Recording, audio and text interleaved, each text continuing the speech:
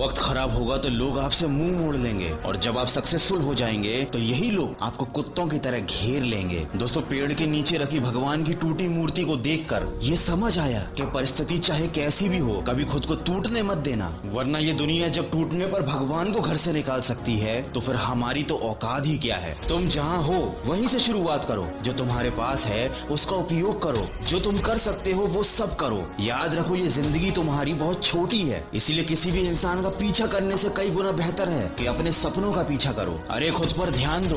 दूसरों पर पीएचडी करने से तो बेहतर है कि हम खुद ग्रेजुएट हो जाएँ। दोस्तों, किसी ने क्या खूब कहा है? हमारी हार इसमें नहीं है कि कोई दूसरा हमें नहीं पहचानता। हार तो हमारी इसमें है कि हम खुद को खुद नहीं पहचानते। कितना अच्छा होता अगर ज़िंदगी पर सड़कों की तरह लिखा होता कि आगे खतरनाक मोड़ है, जरा संभल के। तो कभी किसी को शायद जीवन में इतनी ठोकरें ना खानी पड़ती। लेकिन जीवन एक यात्रा है तो इसे कभी ज़बरदस्ती तय ना करें, बल्कि इसे ज़बरदस्त तरीके से तय करें। वीडियो के अंत में बस इतना ही कहना चाहूँगा कि अपनी नज़र हमेशा उस चीज़ पर रखना जिसे तुम पाना चाहते हो। उस चीज़ पर नहीं जिसे तुम खो